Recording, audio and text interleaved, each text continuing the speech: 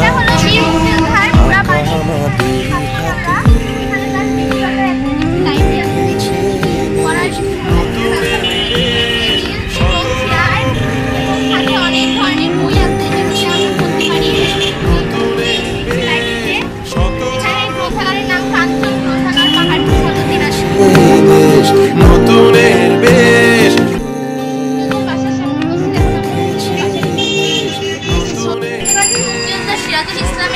ব্যক্তিগত লাইব্রেরি যেখানে তিনি অনেক ধরনের মুক্তিযোদ্ধার বই এবং অন্যান্য বই সংগ্রহ দেখেছে দেশ নতুনের বেশ দেখেছে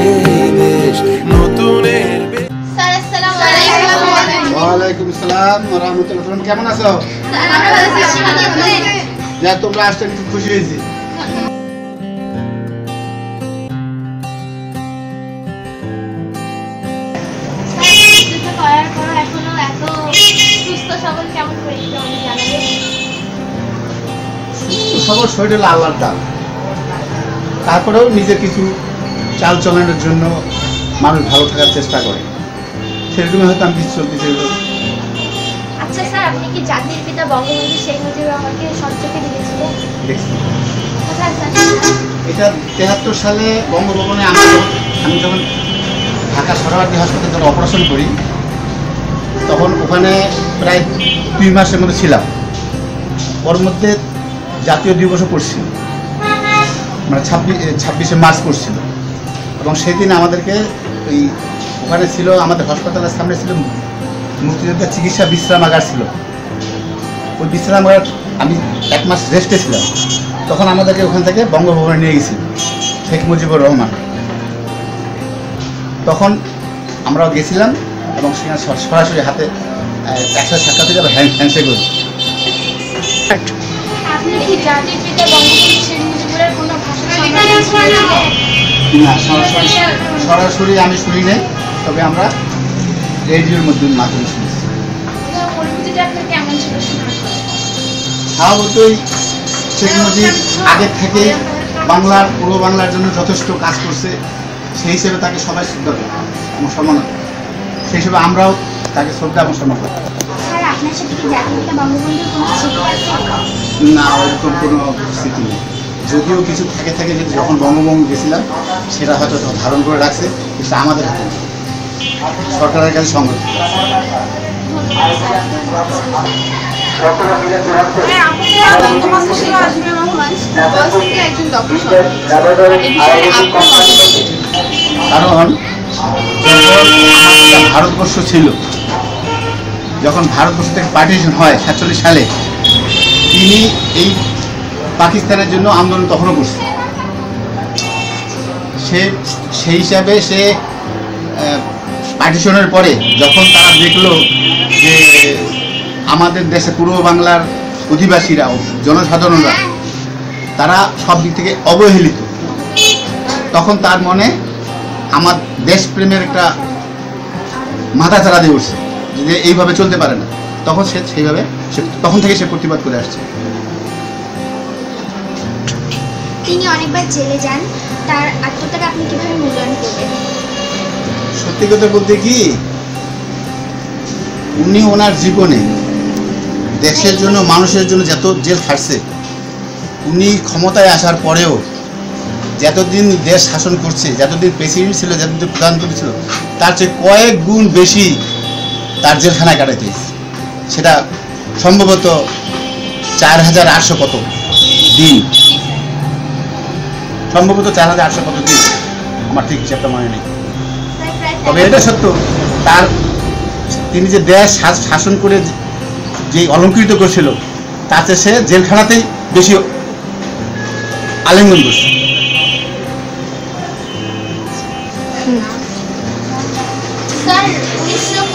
সালে পনেরোই আগস্ট বঙ্গবন্ধু শেখ মুজিবুর রহমানের সহপরিবার সহপরিবারকে হত্যা করা হয়। এই বিষয়ে আপনার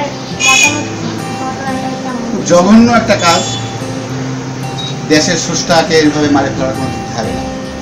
আর সে এমন কোনো কাজও করে ফেলে না যে তাকে মারে ফেলাইতে হবে। তবে স্বাধীনতার বিপক্ষে যে শক্তি ছিল এবং আমাদের দেশেরও কিছু লোক ছিল যারা সবসময় শেখ মুজিবুরকে পছন্দ করতে পারত না। তারা এবং কিছু ছাত্রনেশী মহল মিলে এই জিনিসটা করেছে যতটুকু আমার মনে হয় এটাকে বাহিরের কোনো হয়তো বা হাত থাকতে পারে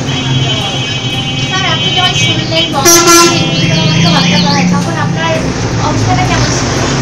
আমি তখন আশায় কি বলব ওটা? মানে আমি বলে না যত লোকের কাছে আমরা শুনছি যত লোকের কাছে আমরা আলাপ করছি সবাই আশ্চর্য হয়ে গেছে যে এটা কি হয়ে গেল? দেশের মধ্যে এটা কি হয়ে গেল? এরকম একটা ভাব। সবসময় মানুষ একটা খবর নেওয়ার জন্য কেমন করে কি হলো, কোথায়, আসলেই মারা গেছে কিনা। আমরা তো স- সচক্ষে দেখি নিলাস আমরা শুনছি আসলে কি মারা গেছে? এটা কি সম্ভব? এরকম ধরনের মানুষের অনুভূতি। আমার, আমি সব।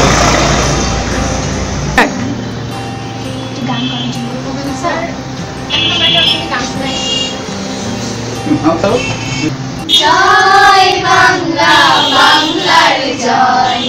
জয় বাংলার হবে হবে হবে হবে নিশ্চয়। প্রাণ একসাথে জেগেছে অন্ধরাতে নতুন সূর্য ওঠার এই তো সময়। জয় বাংলা, বাংলার জয় জয় বাংলা, বাংলার জয়। বাংলার প্রতি ঘর করে দিতে চাই মোরা অন্যে অন্যে আমাদের রক্ত টক দুলছে মুক্তির দীপ্ত তারুণ্যে। নেই হয় হোক রক্তের প্রচ্ছদ পর হয় হোক রক্তের প্রচ্ছদ পর তবু করি না করি না করি না ভয়। জয় বাংলা, বাংলার জয়।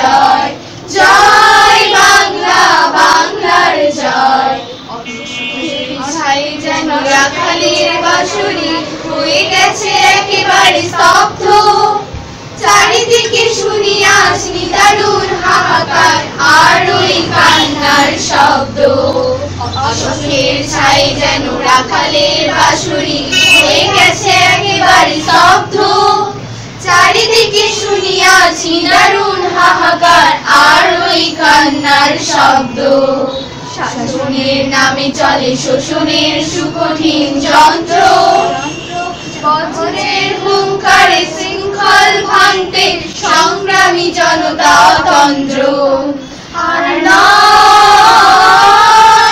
তিলে তিলে বাঙালির এই পরাজয়, তিলে তিলে বাঙালির এই পরাজয়। আর করি না করি না করি না, ভয়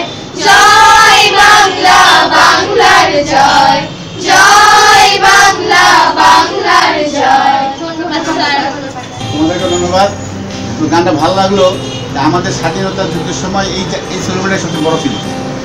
জয় বাংলা। আর তোমরা ওটাকে নিয়ে যে যেই মনোবল নিয়ে গানটা গাইছ, ওরকম মনোবল যদি তোমরা ধরে রাখতে পারো, তাহলে দেশ নিশ্চয়ই আগাই যাবে।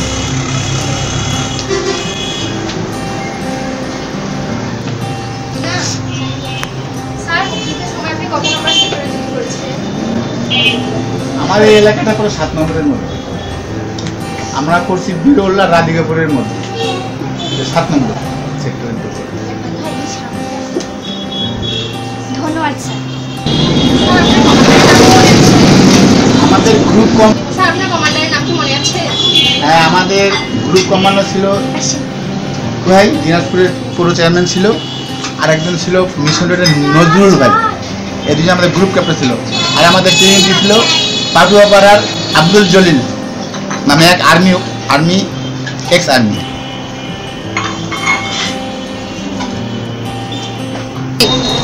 আচ্ছা স্যার মুক্তিযুদ্ধের সময় আপনার বয়স কত ছিল? আরেকবার। যে সময় আমার বয়স ছিল আঠারো আঠারো উনিশ কাছাকাছি।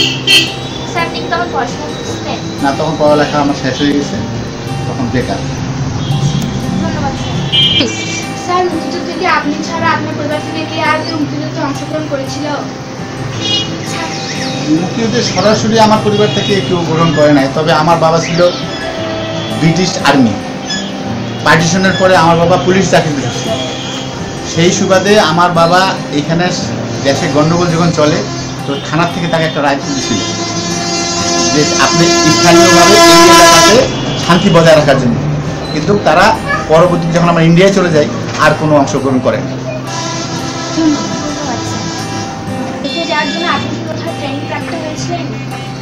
এতে যাওয়ার আগে আমরা আমাদেরকে দিনাজপুর স্টেডিয়ামে আট দশ দিন প্রাইমারি একটা ট্রেনিং দিয়েছিল এটাকে আর্মি ট্রেনিং বলা চলে না শরীর ফিটনেসের ট্রেনিং বলতে পারে। যুদ্ধকালীন সময়ের কোনো মনে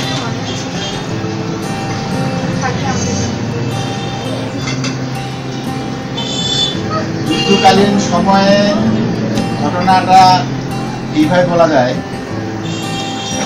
যে যখন আমরা কামারপাড়ায় ভারতের পশ্চিম দিনাজপুরের কামারপাড়া ক্যাম্পে আমরা যখন থাকি, তখন বাংলাদেশ সরকারের একজন মন্ত্রী আমাদের সাথে দেখা করতে আসছে। সেই সময় আমরা দিনাজপুরের প্রায় ষাট পঁয়ষট্টি জন ছেলে ছিলাম। আমরা ওনাকে যখন গার্ড অর্গানার দিই, আমাদের দিনাজপুরের এই এই টিমটাই ফার্স্ট হয়েছিল। সেই হিসাবে ওই মন্ত্রী আমাদেরকে তখন একজোড়া করে ইন্ডিয়ান জঙ্গলি বুট দিছিল সবাইকে। যেটা আমার স্বাধীনের পরেও ছিল মানে অপব্যবহার করে নষ্ট করে ফেলেছে।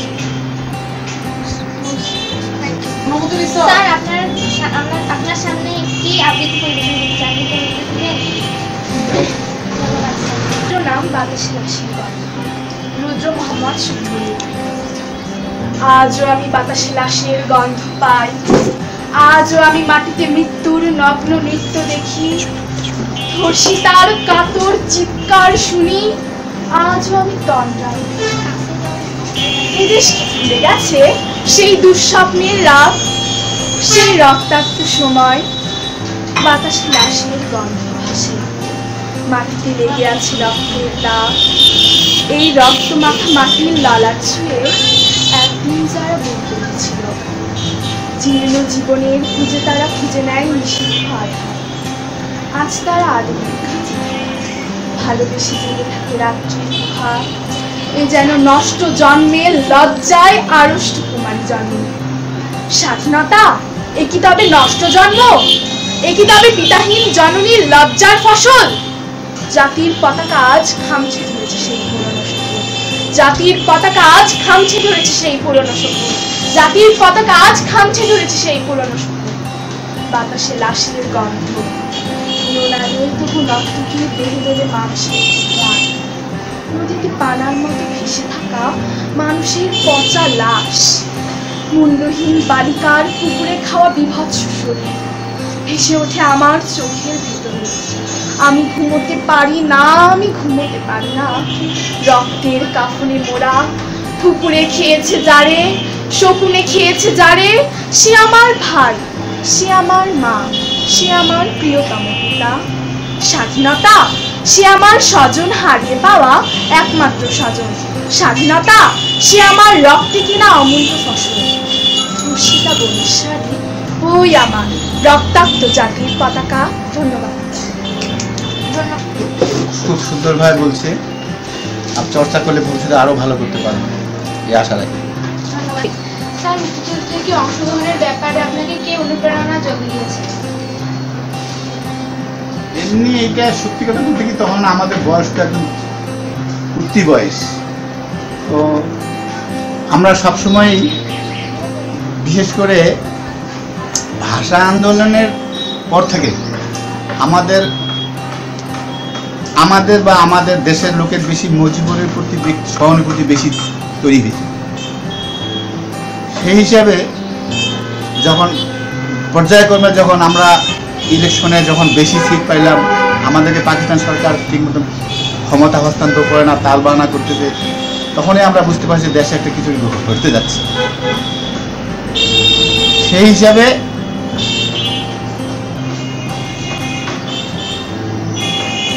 একাত্তর সালে যে যখন দেশে গণ্ডগোল লাগে, তখন আমরা নিজেরা কিছু বন্ধু বান্ধব আমার পাড়ার পাড়ার কিছু বন্ধু বান্ধব মিলেই আমরা এই স্বাধীনতার যুদ্ধে অংশগ্রহণ করার জন্য শেখ মুজিবুরের ডাকে যখন সে ছাব্বিশ তারিখে যখন অ্যারেস্ট হয়ে গেল, রাত্রে বারোটা বিশ মিনিটে, তখন আমরা গোটা বাংলাদেশের লোকই তখন একটা থমথম অবস্থায় যে কী হচ্ছে আগামী। তারপরে যখন এটা হলো, তখন আমরা নিজেরাই স্বইচ্ছায় বাপ মাকে না বলেই আমরা স্টেডিয়ামে যাওয়া শুরু করলাম। ট্রেনিং নেওয়ার জন্য অংশগ্রহণ করার জন্য।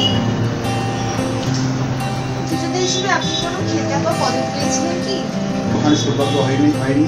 ওরকম কোনো খেতাব পাওয়ার মতন কোনো কাজও করিনি, করতে পারিনি বা সৌভাগ্য হয়নি যার জন্য আমি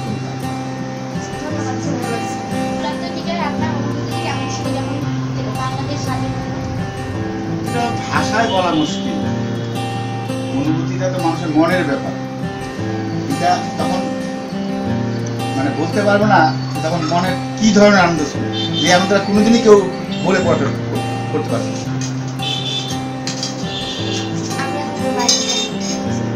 আচ্ছা পরে এত বছর পর আপনার যখন মনে হয় যে মুক্তিযুদ্ধের সময় আপনি কি তখন আপনার মনের ভিতর কেমন অনুভূতি আপনি মনে করেন? আজ থেকে তো এটা প্রায় সাতচল্লিশ আটচল্লিশ বছর আগেকার ঘটনা। তখন মুক্তিযুদ্ধে গেলে কি হবে মরে যাব না বাঁচবো? আবার আসতে পারব কি না পারব, কোথায় যাচ্ছি, কি করছি, এগুলা কোনো খেয়াল তখন ছিল না। এখন যখন চিন্তা করি, তখন মনে হয় কি, যে আমি গেছিলাম কোথায় কি? মরার জন্য কি গেছিলাম? যে স্বাধীন করতে যায়, যে জায়গায় গেছি, সেই জায়গা থেকে ফিরে আসাটা কিন্তু কঠিন। আমাদের সাথে বহুত বন্ধু বান্ধব যাদের লাশটাও আমরা বাংলাদেশে ঢুকাতে পারি।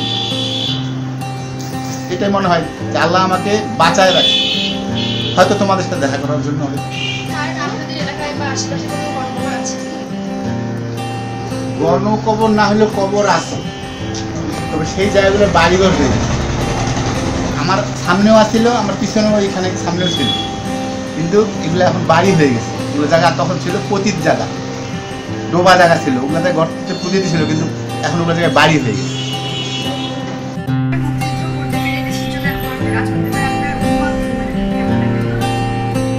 আমরা তো যখন মুক্তিযুদ্ধে যাই, তখন তো সদস্য গেছিলাম। দেশ মাতৃকে আর কি স্বাধীন করার জন্য কর্তব্য মনে করি। স্বাধীনতার পরে আমরা আছি খুব একটা বিব্রতকর অবস্থার মধ্যে পড়ে গেল যেমন জিনিসপত্রের দাম বাড়ে গেল, মানুষ আইন শৃঙ্খলার ভিতরে সমস্যা সৃষ্টি হইল মানে জিনিসের অভাব হইল, দেশ দেশ তো ভঙ্গুর, খান খান সেনারাও দেশ নষ্ট, অনেক ধ্বংস করে দিয়ে গেছে। যার জন্য সরকার আসে আসেও দেশটাকে সামলাইতে খুব কষ্ট হয়েছে। তখন লোক খুব কষ্ট পাইছে। সেই কষ্টর ভাগটা মানুষ মনে করতো আমরা দায়ী এই হিসাবে মানুষ আমাদেরকে একটু খারাপ নজরেও দেখত কিন্তু কালের পরিবর্তনে মানুষের সেই চিন্তা ভাবনার পরিবর্তন হয়েছে। এখন তারা আমাদেরকে নিয়ে গর্ব করে।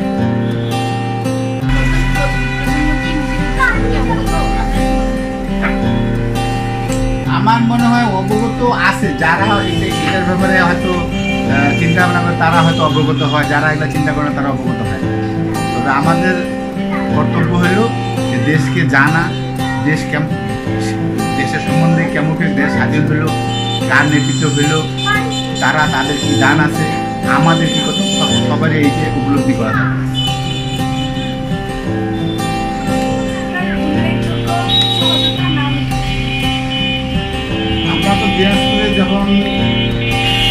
যখন ক্যাম্প করি প্রথমে। রাধিকাপুরে তারপরে আমাদের ক্যাম্প চলে যায় ডালিমগা ভারতের মধ্যে। তো আমরা ওখানে প্রায় ষাট পঁয়ষট্টি জন ছেলে ছিলাম দিনাজপুরে। এর মধ্যে আমার পাড়ারই ছিল চার পাঁচজন যেমন ছিল সিদ্দিক ভাই, মজিদ ভাই, আজিজ ভাই, যেমন ছিল সাদি ভাই, মোতাহার ভাই, এগুলো ছিল। এছাড়াও আমাদের আরও যেরকম ছোটো ভাই ছিল ফোরহাদ নামে এক ছিল, বালুবাড়ির, তারপর নজরুল ভাই ছিল তোমার মিশন রোডের, এরকম আরও মানে গোটা দিনাজপুরেরই অনেক শহরেরই অনেক শিল্পরা ষাট পার্সেন্ট সবাইকে তার তার যোগাযোগ হয় না বা আমাকে দেখা যাবে না পরে অনেকে তার যোগাযোগই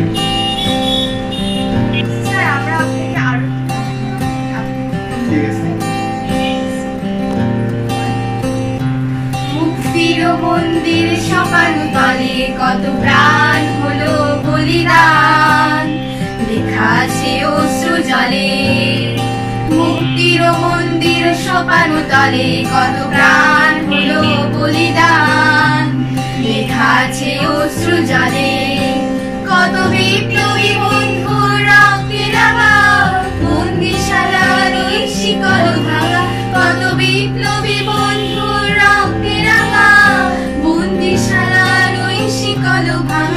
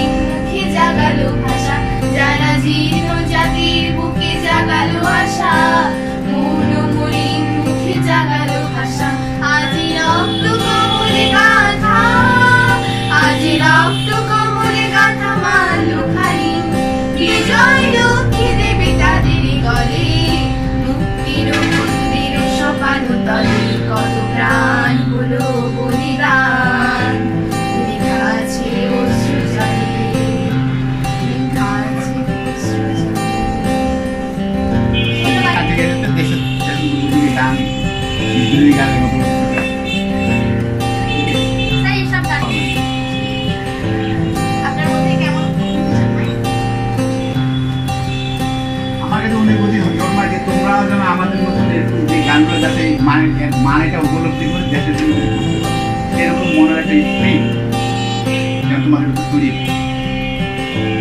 স্যার আপনার কি আপনার কি দেখো মুক্তিযুদ্ধে কোনো শেষ হয় একটা পরিবর্তন হয় তারপর আরেকটা পরিবর্তন মাথা চারা দিয়ে স্বাধীনতা যুদ্ধের যে মুক্তিযুদ্ধ ছিল সেটার একটা যে স্বাধীন করার ঘটনা ছিল সেটা হয়তো আমরা আল্লাহর মধ্যে পাইছি।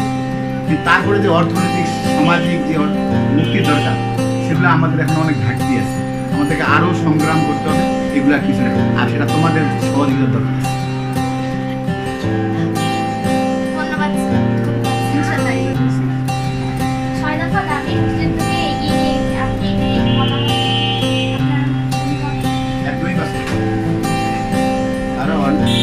মানুষ যখন কোনো কিছু করতে চায় জানতে চায় কেন করব?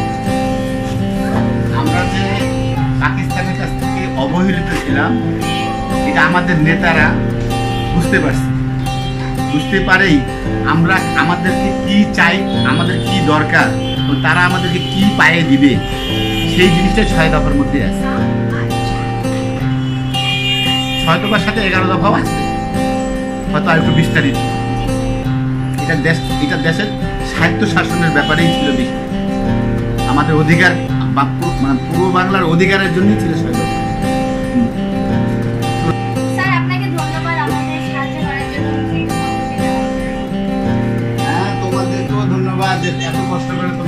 আসলে বাংলাদেশকে জানার জন্য, বাংলাদেশের ইতিহাস জানার জন্য, মুক্তির যুদ্ধকে জানার জন্য, শেখ শেখ মুজিবকে জানার জন্য।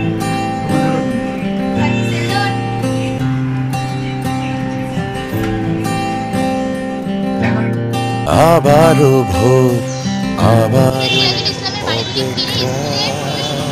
আবারও জেগে ওঠো, এখনই শোন।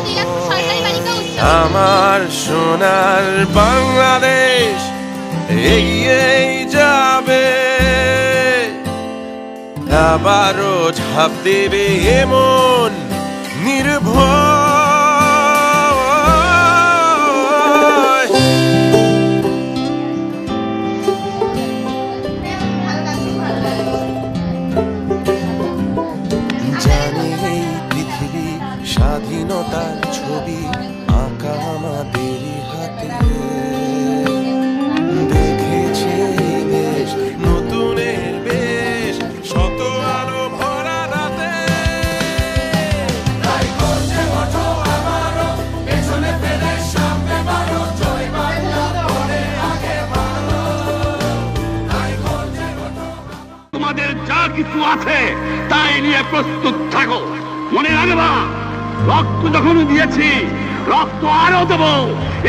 মানুষকে মুক্ত করে ছাড়বো ইনশাল্লাহ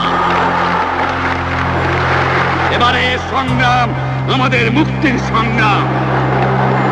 এবারে সংগ্রাম, স্বাধীনতার সংগ্রাম। জয় বাংলা।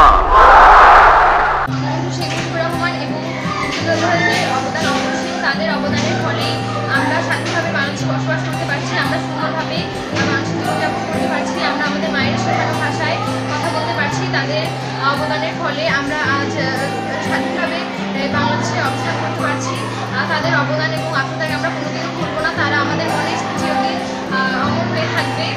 আমরা চিরদিন তাদের স্মরণ করব। আমরা তাদের মতো মনোবল নিয়ে বাংলাদেশকে এগিয়ে নিয়ে চলবো, ইনশাআল্লাহ। বাংলাদেশ বাংলাদেশ এগিয়ে যান। আমরা জয় বাংলা বলে গর্জে উঠবো। জয় বাংলা।